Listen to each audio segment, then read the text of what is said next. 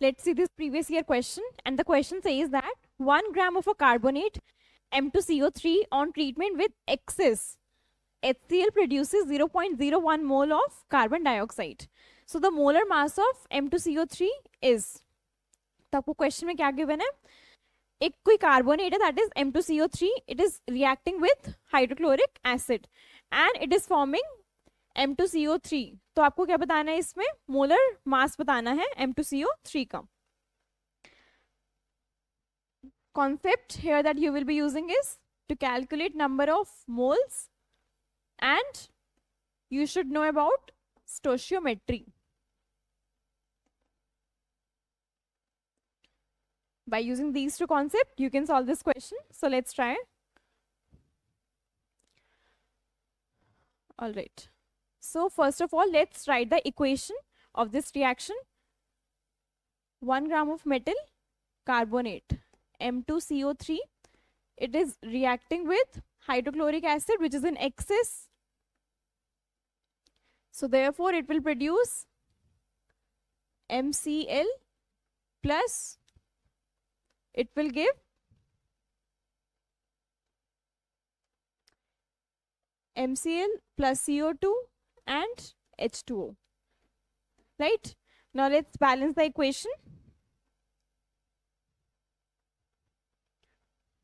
So this reaction is balanced now. Now you have been provided with 1 gram of carbonate.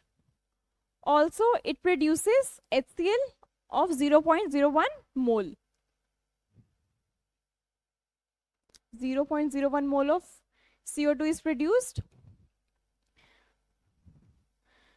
Now from stoichiometry, you can say that अगर इसके 0.01 moles हैं, जो कि form हो रहे हैं तो इसके भी उतने ही होंगे because one mole of CO two produce by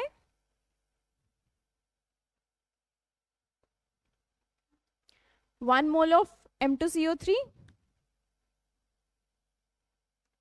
right so zero point zero one mole किससे बनेंगे? इतने से ही बनेंगे। So zero point 0.01 moles of CO2 will be produced by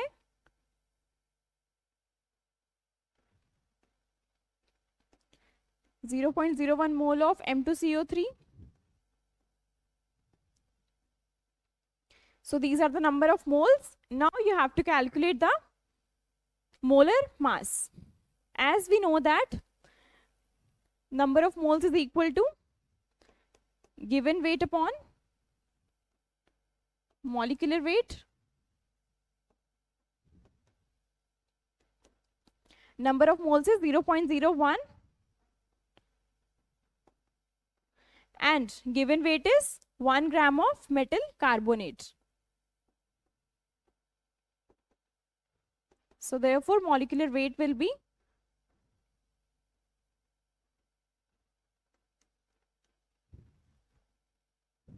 one upon 0 0.01 that means it will come out to be 100 gram per mole.